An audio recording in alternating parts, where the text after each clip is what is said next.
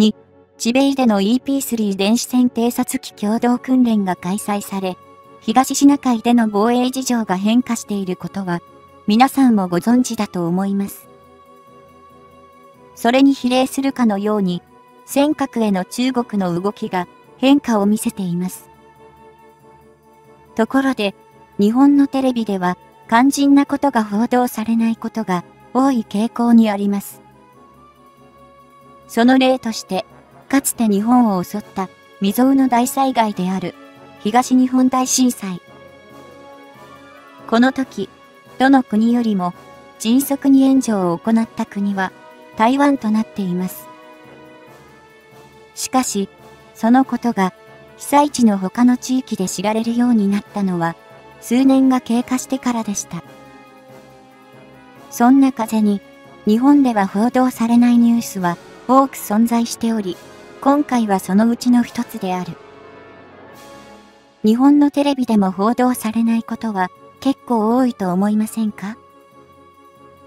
例えば、東日本大震災の際のいち早い台湾の援助について、被災地以外に知られるようになったのは数年経ってからでしたね。南シナ海を海事の P3C 哨戒機が無断で飛行したことに中国が猛反発したが、日本は無視したという件について、詳しく見ていきたいと思います。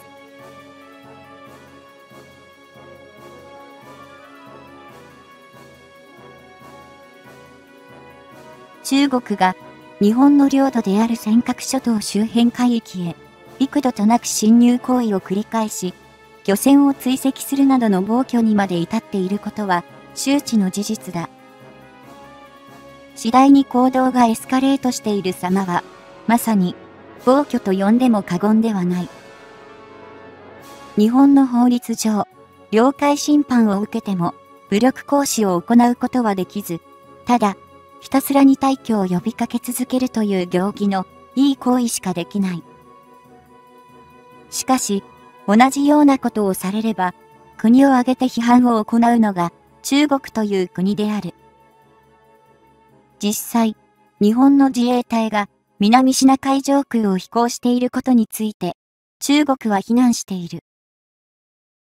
これは、2021年2月の出来事で、というのも、中国は、南シナ海のおよそ80%を自国の領海であることを自称しているのだ。確かに、かつては中国の領海であったかもしれないが、それははるか昔のことであり、現在でそれを主張するのはおかしなことである。そんな中国の身勝手な言い分は、日本にだけに向けられたものではなく、台湾を筆頭に、周辺諸国とのいさかいを生む元となっているのだ。今回の一件は、中国領を自称するミスチーフ省の上空を、海上自衛隊の航空機が無断で飛行したと指摘したことが発端。これについて、2月26日に、防衛大臣の岸忍氏が記者会見を開いており、その際、海事の P3C 哨戒機の飛行行動は、国際法に照らした上で適法であると宣言し、この海域を中国領であることを否定した形となった。アメリカが艦艇を派遣する航行の自由作戦は南シナ海において定期的に展開されており、2021年には、フランスの攻撃型原子力潜水艦も南シナ海を航行することを宣言していたのだ。また、これに倣うように、最新鋭航空母艦クイーン・エリザベスを擁するイギリスも、南シナ海に派遣を送ることを決めている。ちなみに、女王の名を冠するクイーン・エリザベスには、イギリス空軍とアメリカ海兵隊の F35 ライトニング 2B 型の両方の飛行隊を艦載させる予定となっているとのこと。大国の艦隊たちが一堂に会し、中国が自分たちの領海であることを主張している南シナ海に集結することになるのだが、このようなアメリカを含むヨーロッパの主要国たちの動きを見る限り、西側諸国が一致団結して中国の南シナ海を含む周辺海域へ進出しつつある状況を牽制するものではないかと考えられる。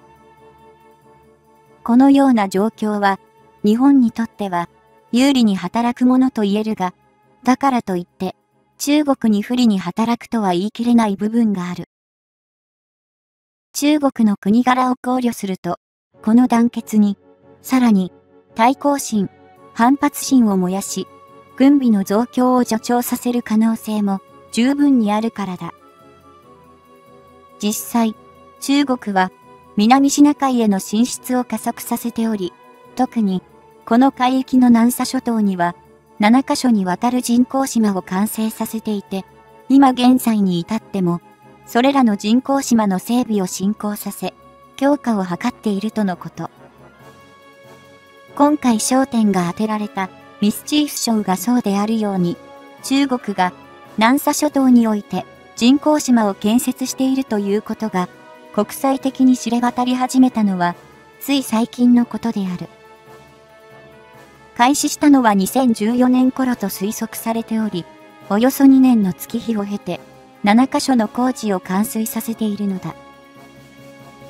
このような動きを人工衛星などによって発見することができればよかったのだが、そう簡単な話ではない。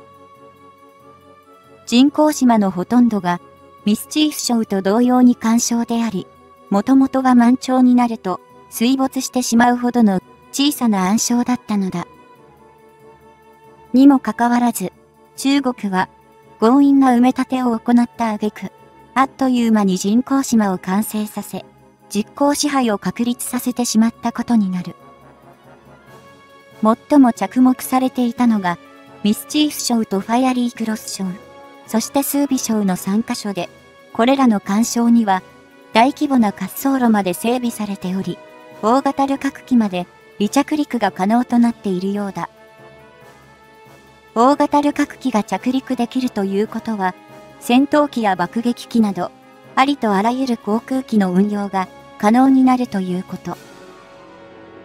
また、整備されているのは滑走路だけに止まらず、様々な施設まで建設しており、中には軍事関係の施設だけではなく、民間の施設まで建設されていることが確認されている。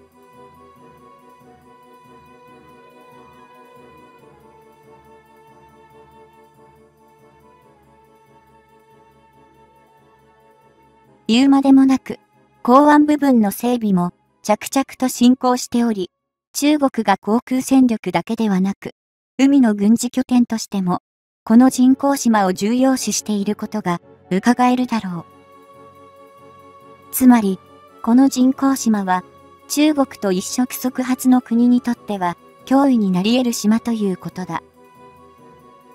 中国が、軍事施設以外、いわゆる民間施設を建設することには理由があり、その理由というものがまさに中国らしいもの。簡単に言うと、軍事施設を守るために民間施設をわざわざ建設したのだ。軍事施設ではない施設として代表的なものの例に挙げられるのが気象観測施設だが、この場所が暗礁だった頃は満潮時には水没してしまっていたことから、居住することは不可能と見られていた。だからこそ、中国は強引に土地を形成して民間人を送り込むことに成功。なぜ民間施設を建設することで軍事施設が守られるのかというと、アメリカ軍はイラクでの戦いや中東の戦いにおいても軍事施設のみを標的としてピンポイントに攻撃を行っていた。これは国際的世論においてアメリカ軍が民間人や民間施設を攻撃したという批判を避けるために言ったのだが、中国はこれを逆手に取ってきたというわけだ。いかにアメリカの兵器が精密であっても、面積の小さな人工島において、軍事施設以外の建物への被害は免れない可能性がある。だからこそ、アメリカは攻撃することができない。攻撃を控えざるを得ないのだ。戦術上では理にかなったものと言えるが、言うなれば、自国民を人質にする行為である。もし、それらの被害を考えず、アメリカが攻撃を行おうものならば、中国は、ここぞとばかりに、アメリカの攻撃が非道であることを国際社会に懸念することだろう。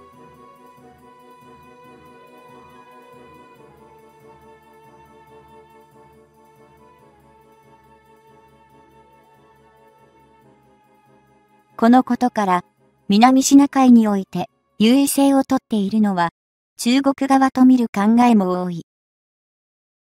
両国が衝突する場所として最有力候補に挙げられているのが南シナ海であることを考えると、アメリカ側は攻略に苦労するはずだ。韓国が不法に占拠している日本領の竹島もそうだが、こうした本土から遠く離れた島嶼部において、実効支配を確立したものに部があることは否定できない。言うなれば早い者勝ちというわけだ。いくら昔から主権を持っていたとしても、いくら理不尽であったとしても、実質的に支配されていなければ、その効力が薄いことは一目瞭然である。日本は、尖閣諸島においても、国有化を果たしながらも何の手も打たず、ただ自国領であることを訴え続けている。だが、実際に、その場所に存在しているのは中国人であり、日本の叫びが大した意味を持たないことは、火を見るよりも明らかだ。これらについて、日本の政治家には、毅然とした態度で応じてもらい、言葉だけではなく、行動を起こす気概を見せてほしいものだと、つくづく痛感する。